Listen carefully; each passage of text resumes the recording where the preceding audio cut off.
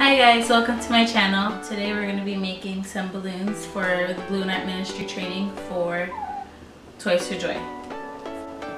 So today we're actually going to make a wand, a very simple princess wand. And we're going to use Qualatex.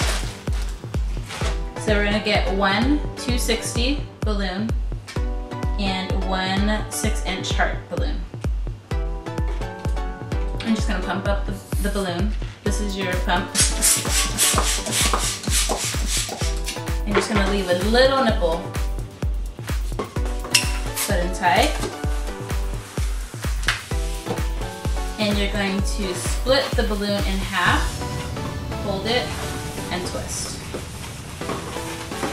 You're gonna make one little bubble, about an inch, and you're gonna twist. That is called a pinch twist.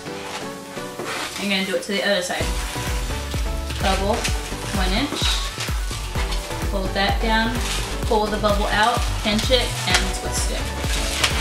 So you should have the balloon look like this, half still, and it almost looks like kissing lips at the end.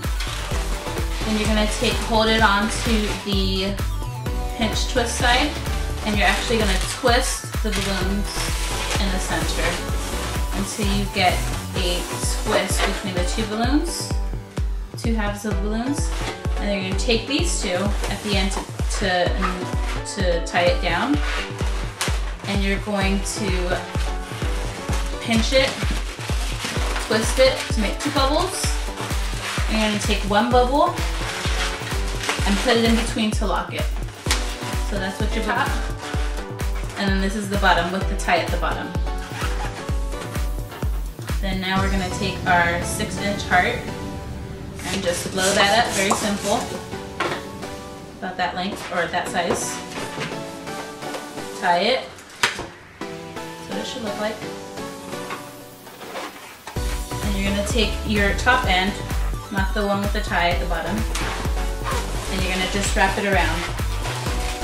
Wrap the bottom, the tie of the heart balloon at the bottom, and wrap it around the two kisses so this is your simple heart wand balloon.